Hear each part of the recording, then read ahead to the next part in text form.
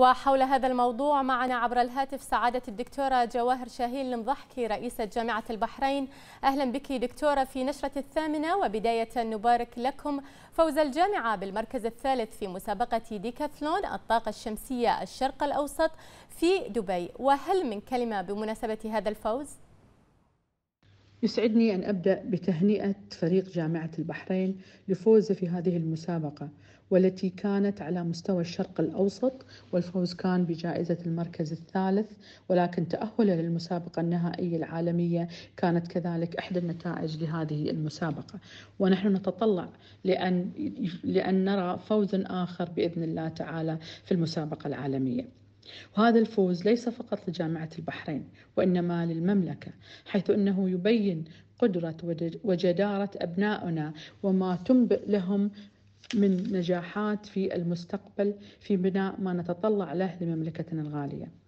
هذا الفوز هو نتيجة للدعم والرعاية التي يوليها سيدي جلالة الملك المفدى حفظه الله ورعاه لأبنائه بتوفير التعليم الجيد والذي يمكنهم من الإبداع والتميز كذلك المتابعة الدؤوبة من سيدي سمو ولي العهد رئيس الوزراء حفظه الله لكل ما يساهم في رفع مستوى التعليم وتطوره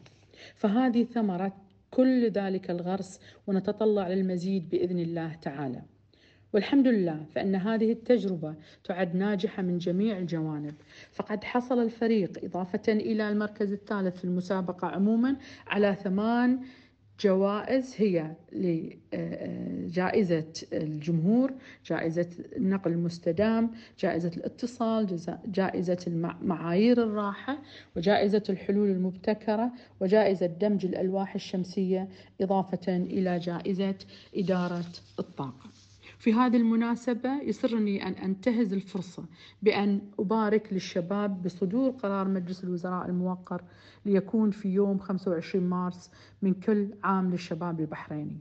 والذي يؤكد كذلك الدعم للشباب من قيادتنا حفظهم الله وتقديرهم لهذه الفئة المهمة لمستقبل البحرين والتعويل عليها في مسيرة التنمية الشاملة في ظل العهد الزاهر لصاحب الجلالة الملك المفدى.